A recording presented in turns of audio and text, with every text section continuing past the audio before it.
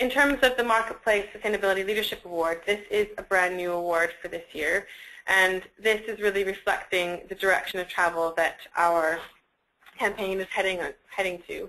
And what we want to do is really, really reward transforming and leading companies. And so we're just going to the introduction section, and I'll take you through what the, what the category is about. So this, this award is recognizing businesses that are transforming their product service offer, supply chains, and marketing by embedding short and long-term environmental, social, and economic trends into core business decision-making.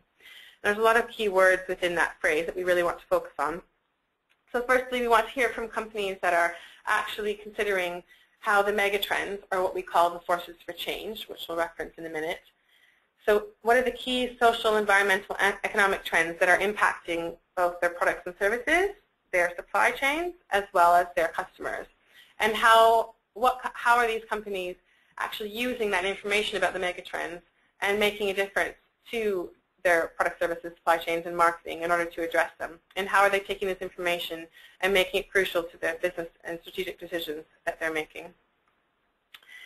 Um, just a bit more information about the context or background on, on this award.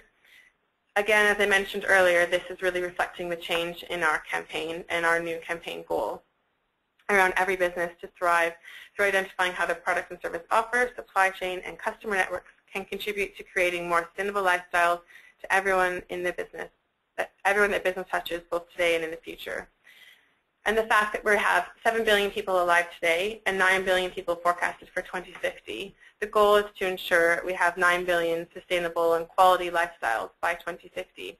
But we're not going to be able to get there unless businesses today change the way their business models and their products and services are created um, and how they interact with consumers um, and engage them to act more sustainably, as we described in the other two categories. So the point of this category is to look at all these things in turn. So it's almost a combination of both the supply chain award and the customer engagement on sustainability award and looking at that holistically. And Maria's going to talk a bit more about some examples of uh, what we're looking for in this award. So you'll see at the end of the introduction, again, some examples of what we're looking for, but to elaborate on those. The first two are around innovating products or services resulting in significant long-term benefits for environment and people, or driving change across the whole value chain, moving towards a circular economy. And you'll note that we reference elements of this both in the Sustainable Supply Chain and Customer Engagement Award. So if you are considering entering more than one award, you can pull information from those and put them into this award as it's a culmination of everything. Another example is raising the bar and shaping wider industry and policy standards through collaboration. One past example could include work that B&Q have done around the FSC standard. Just using their industry alone would not, not go anywhere near enough to solve the, solve the problem of deforestation. Publishers have since got on board, and you'll probably all have heard the story of Harry Potter being published on FSC paper. But the question would be, if every single publisher then also made all of their books from FSC paper, would this be enough to sustain a future demand to sustain a future demand for trees. If not, who else needs to get involved? And they're the things you need to think about when thinking about external collaboration and stakeholder engagement here. Another example might be running a holistic employee engagement program spanning the whole business, empowering teams to drive sustainability plans forward. This goes way beyond what we'd sort of usually deem as employee engagement, but actually starts looking at ensuring all roles within the whole business are playing a specific contribution to the long-term business, business vision for sustainability across the entire business. The last example there, again, is something that we'd be looking for in previous awards too, creating breakthrough solutions with both customers or suppliers which go beyond good practice and compliance. And as with the other awards, we'll quickly go through the specific questions. So the first scored section is in part three.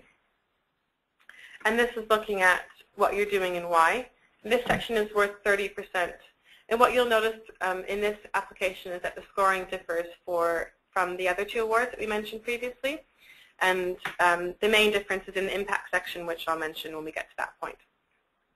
This one is worth 30%. The two questions in this section are worth 15% each. The first one is, what are the key environmental and social issues you've identified as affecting sustainability of your business model in the long term, and how have you identified this as an issue? So what we're looking for here is, um, for example, looking at the forces for change. I'm just going to quickly show you our Forces for Change document, which you can find on our website under the Visioning the Future program. So looking at things such as the forces for change, what are the short and long-term issues that your business is facing? So what are the wider general issues? So things such as resource scarcity or um, other natural resources or things such as um, your ongoing talent pool. So for example, STEM subjects are in high demand. So how are you going to ensure that you have enough um, talented workers out there to, uh, to join your company? And the second question is, what are the impacts, both the risks and opportunities that these issues are going to have in your products and services and your business model? So while the first question looks at specifically what are the wider general issues that are going to affect you, in question 3.2, we want to know how is this impact, how is this issue actually going to impact on your business, and actually what is that going to mean for your business, both again in the short term and in the long term. So, for example, in terms of dealing with resource scarcity, you might need to change your products and services or the resources that you use in order to make these um, as a result because there's going to be fewer or less of them, or none, potentially. Um, and in terms of dealing with your talent resources, if there's not going to be enough skilled workers, how is that going to change your business and what actually can you, can you be doing about that in the future? We'll move on to the next section now, which again is how. What you'll notice about this section is that it's longer and worth more scores than this section in the other two awards. The main reason for that is this whole award is about your business looking both short and long term and thinking about transforming its whole business model.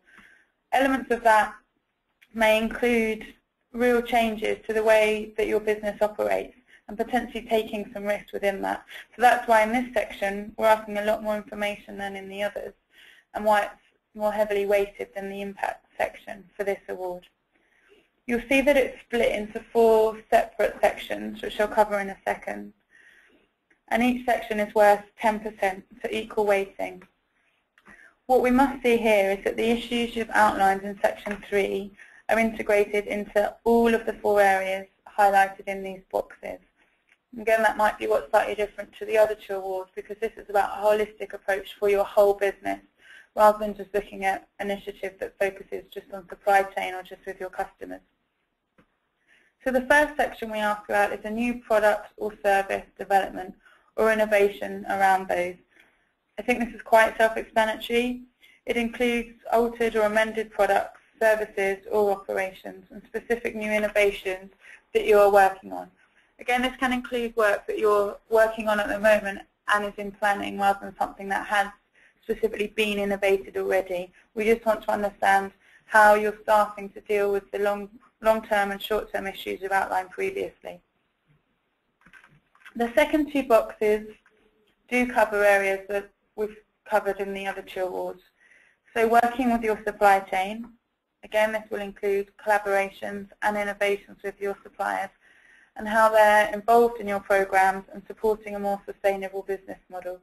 So again, if you if you are thinking of applying for the supply chain award, you can put some of the information into this section as well. Same for the next box, engaging your customers as this also includes influencing customer choices and behaviour.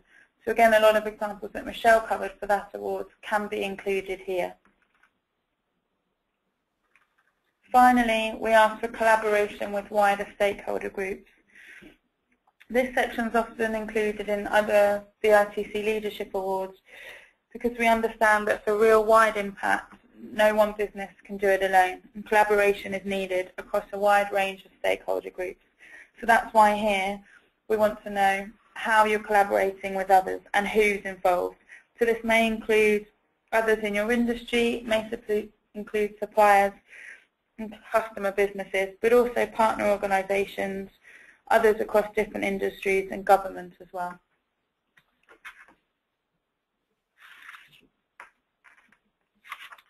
And in the last section in this application around impact, as I mentioned earlier, this section is worth the most. It's worth, um, oh sorry, sorry. This section is not worth as much as in the other applications. It's worth 30%, so the same as the first section, 15% for each question.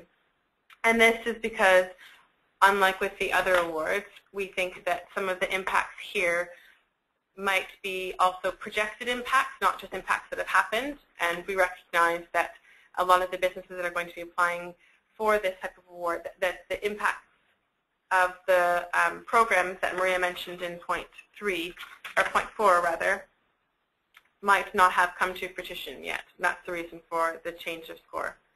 So the first part is around the, and benefits to the environment and people. Similarly to the other awards, we want to see what difference has this program made.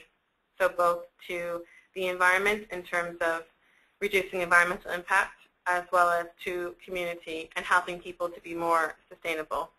And it should include impacts of all four points mentioned in point four. So from your customers to your supply chains, employees, and your community or other stakeholder program. The second point is around benefits to your business.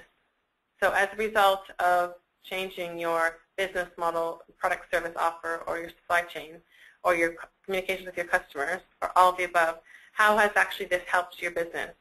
So things such as um, increasing profit to more efficient, efficiency savings, increased reputation, etc. We also want to see not just current impacts, but projected impacts in both the short and longer term.